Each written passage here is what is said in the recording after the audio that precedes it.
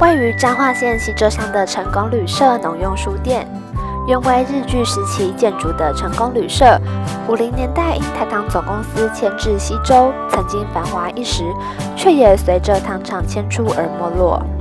而今，我爱西州团队赋予了它新的生命。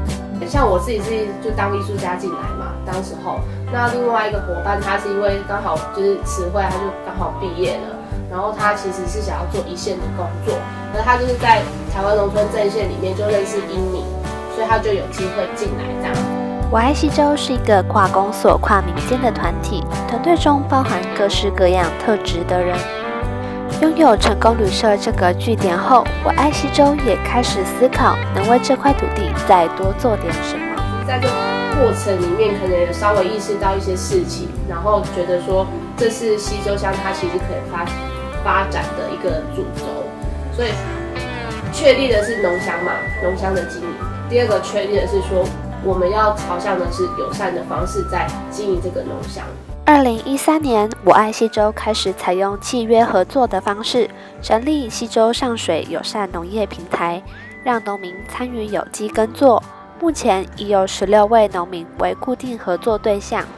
产销方式除了网络经营外，企业认养更帮助农民能够安心耕作。就参考德国的机制，就是德国生态补贴的方式。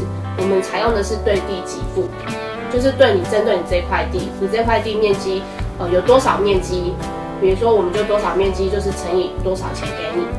那他就会觉得说，哎，今天我至少我不管收成是五百斤。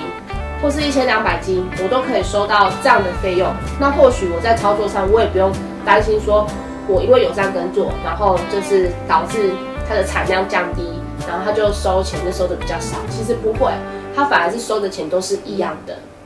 除了卖农业用书之外，书店更是一个空间，一个媒介，提供农地资讯，也鼓励青年返乡务农。如果你真的要从事农业的话，很多知识跟东西并不是从书本里面得来的。其实透过很多经验跟跟跟跟一些呃实际操作经验的人取经，那是比较重要的。